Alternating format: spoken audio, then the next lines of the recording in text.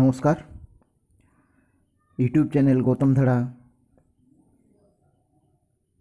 সকলকে স্বাগত জানাই। আমি এবার একটা নতুন ভিডিও নিয়ে এসেছি, সেই ভিডিওটি হলো ক্লাস টেনের জন্য।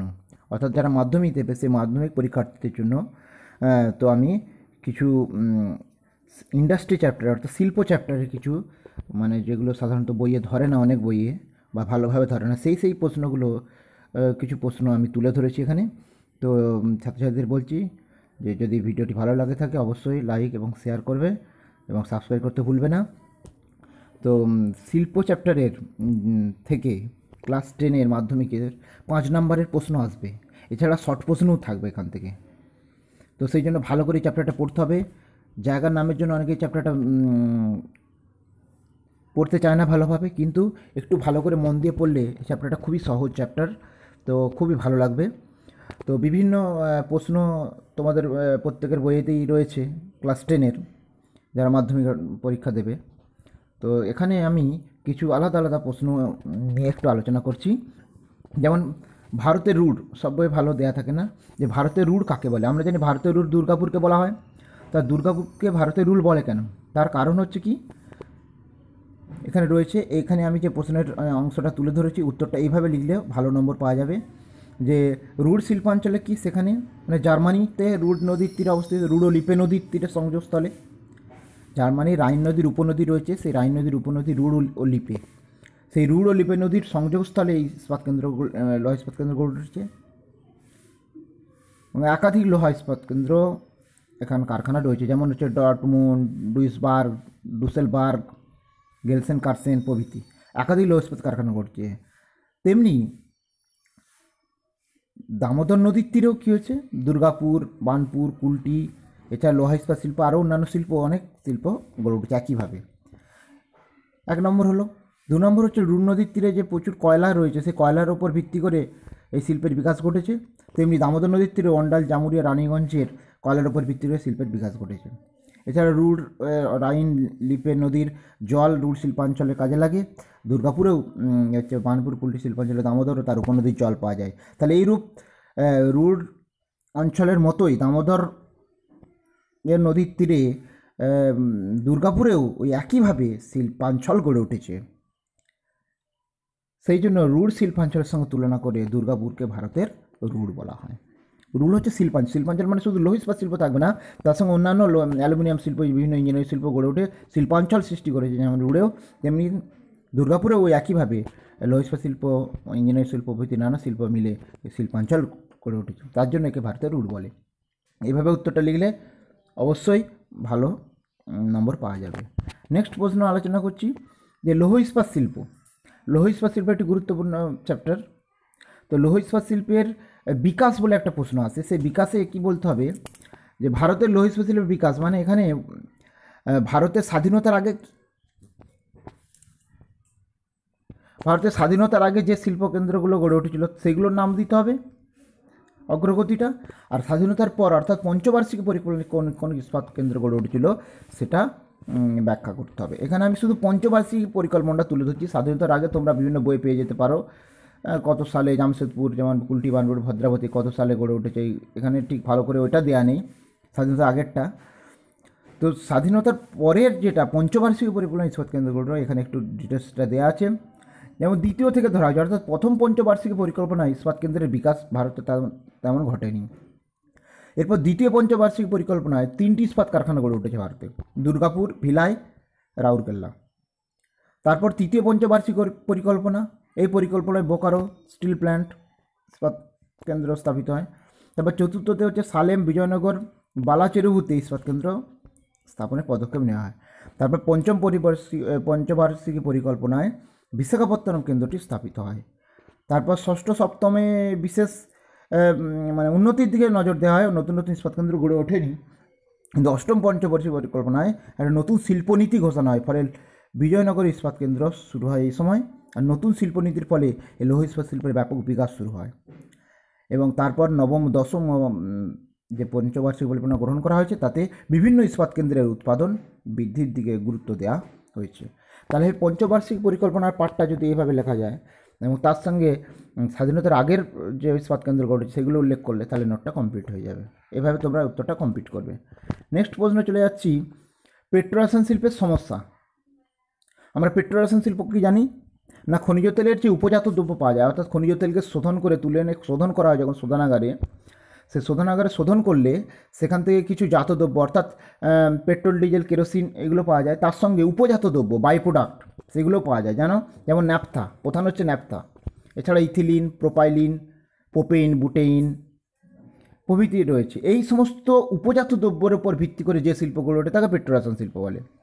অর্থাৎ পেট্রোরাসায়ন শিল্প মানে কি? ওই পেট্রোলিয়ামের উপজাত দ্রব্যের উপর নির্ভর করে রাসায়নিক দ্রব্য উৎপাদিত হয় বা বিভিন্ন ব্যবহার প্লাস্টিক, পলিথিন, নানা ধরনের কৃত্রিম রাবার এগুলো তৈরি হয়। এবং এই শিল্পের কিছু সমস্যা রয়েছে ভারতে। সেই সমস্যাগুলো তোমরা বইয়ে হয়তো পাবে না, তো এখানে আমি ওই জন্য তুলে ধরেছি।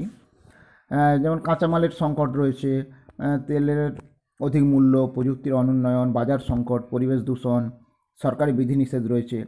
এগুলো একটু পড়লেই তোমরা পারবে, এগুলো আমি আর ডিটেলসে যাচ্ছি না। তোমরা দেখে নেবে ঠিক করে। আর এর সমস্যা সমাধানের জন্য কী করা হয়েছে যেন উনিশশো ষাট সালে উনিশশো কানে কমিটি, উনিশশো চৌষট্টি সালে হেনরি কমিটি গঠন করা হয়েছে।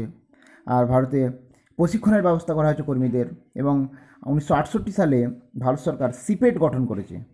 একটা সংস্থা গঠন করেছে, যার সাহায্যে পেট্রোরাসায়ন শিল্পের উন্নতির দিকে নজর দেওয়া হচ্ছে। তাহলে এইভাবে এই নোটটা তৈরি করে নেবে সবাই। নেক্সট প্রশ্ন আসছে। ভারতের কার্পাস বয়ন শিল্পের সমস্যা। ভারতের কার্পাস বয়ন শিল্পের সমস্যা এবং সম্ভাবনা। সম্ভাবনাটা পরের পাতায় দেওয়া আছে, পরের ইয়েতে।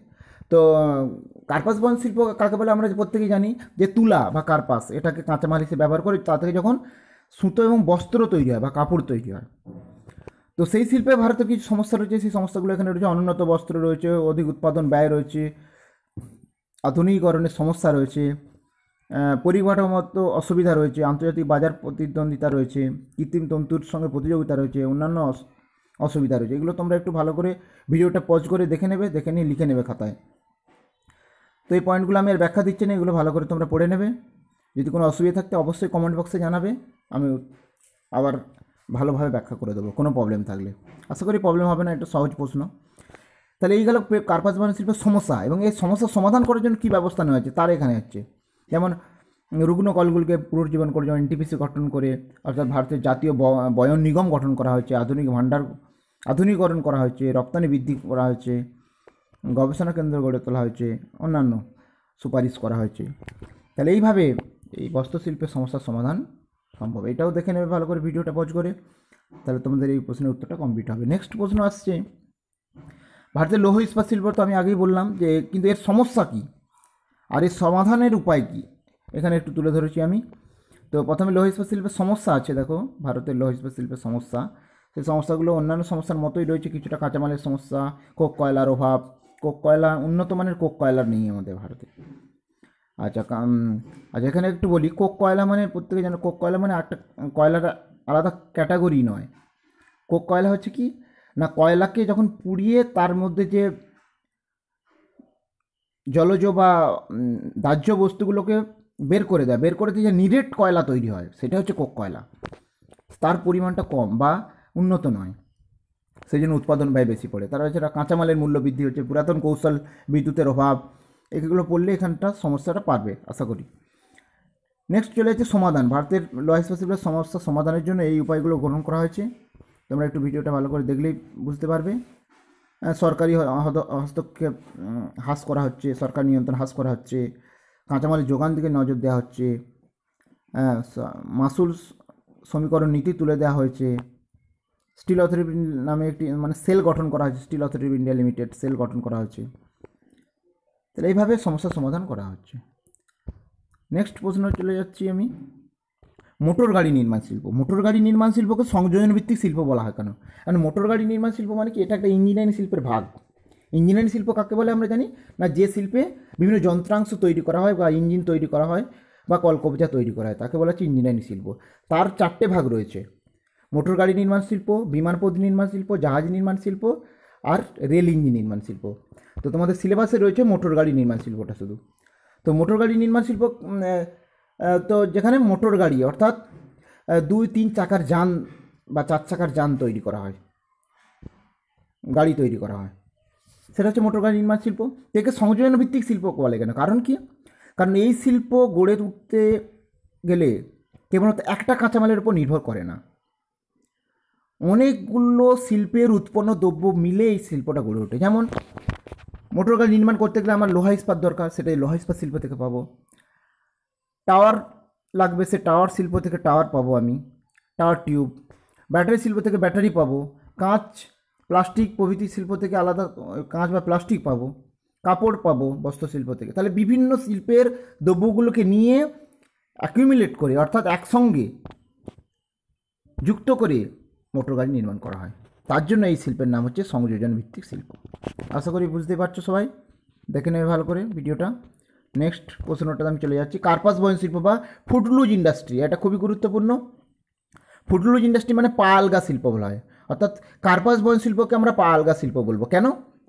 না কার্পাস বয়ন শিল্পে বিশুদ্ধ কাঁচামাল ব্যবহার করা হয়। বিশুদ্ধ কাঁচামাল তো আমরা প্রত্যেকেই জানো যে কাঁচামালের ব্যবহারের পরেও মানে কোনো শিল্পে যে পরিমাণ কাঁচামাল ব্যবহার করা হয়, তার একই দ্রব্য যদি উৎপন্ন হয়, একই পরিমাণ দ্রব্য উৎপন্ন হয় সম পরিমাণ সেটা হচ্ছে কার্পাস বয়ন শিল্পে হয়। অর্থাৎ কার্পাস বয়ন শিল্পে আমি যদি এক টন তুলা ব্যবহার করি, তাহলে এক টনই বস্ত্র পাবো।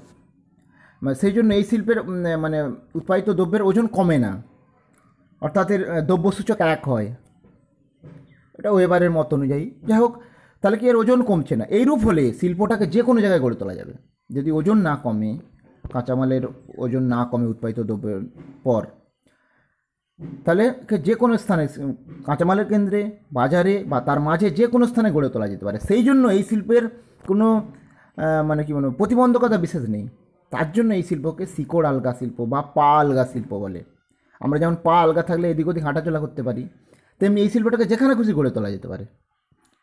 সেই জন্য একে বলা হচ্ছে ফুটলুজ ইন্ডাস্ট্রি বা শিকড় আলগা শিল্প। এটা ভালো করে তৈরি করে নেবে।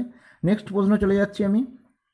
ভারতে পেট্রোরাসায়ন শিল্পের গুরুত্ব। পেট্রোরাসায়ন শিল্পে আমি আগেই বললাম, সেই পেট্রোরাসায়ন শিল্পের গুরুত্ব রয়েছে কিছু। ভারতে পেট্রোরাসায়ন শিল্প থেকে আমরা কী কী পাই, সেটাই হচ্ছে তার গুরুত্ব, তার ব্যবহার। বহুমুখী দ্রব্য পাওয়া যায়, প্লাস্টিক প্লাস্টিক জাত দ্রব্য পাওয়া যায়। এটা একে কেন্দ্র করে অনেক মানে শিল্পের বিকাশ ঘটে। অনুসারী শিল্প, ইঞ্জিনিয়ারিং শিল্প, রাসায়নিক শিল্পের বিকাশ ঘটে। কর্মসংস্থান সুযোগ হয়, প্রযুক্তি ও কারিগরি উন্নতি ঘটে, কৃষির বিকাশ ঘটে। লেখা আছে, এটা ভালো করে দেখলেই তোমরা পারবে। ভিডিওটা পজ করে লিখে নেবে সবাই। নেক্সট প্রশ্ন চলে যাচ্ছে, আমি মোটর গাড়ি নির্মাণ সুখে সংযোজন ভিত্তিক শিল্প বলে কেন? ওটা ওখানে ছিল, এখানেও একটু আলাদা করে দেওয়া আছে, ওই একই টাইপের তবু তোমরা এটা আলাদা করে দেখে নিতে পারো। নেক্সট এটা হচ্ছে আউটসোর্সিং নিয়ে একটু আলোচনা করি। তথ্য প্রযুক্তি শিল্প। দেখো, আমি একটা প্রশ্ন ধরেছি যে ভারতের তথ্য প্রযুক্তি সংস্থাগুলো কী, কে কোন কোন সংস্থা তথ্য প্রযুক্তি শিল্পে যুক্ত বা তথ্য প্রযুক্তি প্রদানে ভারতে যুক্ত সেই এইগুলো যেমন উইপ্রো টিসিএস এই সমস্ত রয়েছে। দেখো এগুলো তোমরা দেখে নেবে। সংস্থাগুলোর নাম। আর তথ্য প্রযুক্তি শিল্প কি আমি একটু এক লাইনে বলে দিচ্ছি। তথ্য প্রযুক্তি শিল্প কাকে বলব? না আইটি সেক্টর, অর্থাৎ ইনফরমেশন টেকনোলজি অর্থাৎ যখন যে শিল্পের মাধ্যমে কোনো তথ্যকে কম্পিউটারের সফটওয়্যার, হার্ডওয়্যার, বিভিন্ন প্রযুক্তি ব্যবহার করে তথ্যকে আরও সহজে পরিবেশন করা যায় বা তথ্যের আদান প্রদান সম্ভব হয় বা নানান ধরনের তথ্যভিত্তিক কার্যক্রম সহজেই সাধিত হয়। সেই শিল্পটাকে তথ্য প্রযুক্তি শিল্প বলে। তো যাই এই শিল্পের সঙ্গে যুক্ত একটা টার্ম রয়েছে, সেটা হচ্ছে আউটসোর্সিং আউটসোর্সিং মিন্স আউটসোর্সিং হচ্ছে কি, যখন আমার, যখন কোনো লেখা যাচ্ছে এখানে, ওরা দেখবে ভালো করে, আমি একটু বলে দিচ্ছি। আউটসোর্সিং বলতে কি, যখন আমরা কোনো কাজ কাউকে দিয়ে করিয়ে নিই, সেটা হচ্ছে আউটসোর্সিং ধরো একটা কোনো দেশের কোনো একটা সংস্থা, আর তার কাজটা কম খরচে বা উন্নতভাবে কম খরচে, কম ব্যয়ে দ্রুত করার জন্য কি করছে? কোনো একটা সংস্থা যখন অন্য একটা সংস্থাকে দিয়ে কাজটা করিয়ে নেয়, সেই ধরনের কাজটা তাকে বলে আউটসোর্সিং আউটসোর্সিং এই তথ্য প্রযুক্তি আউটসোর্সিংয়ের বেশি ব্যবহার দেখতে পাওয়া যায়। আর অফশোরিং কি? যখন এক দেশের সংস্থা অন্য দেশের মানে ধরো আমাদের ভারতের একটা সংস্থা, সে বাইরের কোনো কোম্পানিকে দিয়ে কাজটা করিয়ে নিচ্ছে, তাহলে এটা হচ্ছে অফশোরিং তাহলে এটা ভালো করে দেখে নেবে একটু ইম্পর্টেন্ট জিনিস। এগুলো সব তথ্য প্রযুক্তি শিল্পের সঙ্গে যুক্ত। নেক্সট প্রশ্ন হচ্ছে কাঁচা পেট্রোশন শিল্প আমরা পড়েছি, কাঁচা মালগুলো কী কী ন্যাপথায় খনিজ উপজাত হবে বলেছি, এটা আমি বলেছি। আর পেট্রোশন শিল্প থেকে কী কী দ্রব্য পাওয়া যায়, তাও এখানে লিস্ট আছে, তোমরা দেখে নেবে। এ হলো আমার শিল্পের চ্যাপ্টার থেকে কিছু গুরুত্বপূর্ণ ছোটো ছোটো প্রশ্ন, যেগুলো বইয়ে সাধারণত ধরে না। তো তোমরা ভালো করে দেখবে ক্লাস টেনের ছাত্রছাত্রীদের জন্য বলছি এটা ক্লাস টেনের আমার ফার্স্ট ভিডিও তো প্রত্যেকে বলছি, তোমরা ভিডিওটা দেখবে, কোনো অসুবিধা থাকলে আমাকে জানাবে কমেন্ট বক্সে এবং ভিডিওটা অবশ্যই লাইক দেবে এবং শেয়ার করবে, আর সাবস্ক্রাইব করতে ভুলবে না আমার চ্যানেল ভিডিওটি দেখার জন্য সকলকে ধন্যবাদ।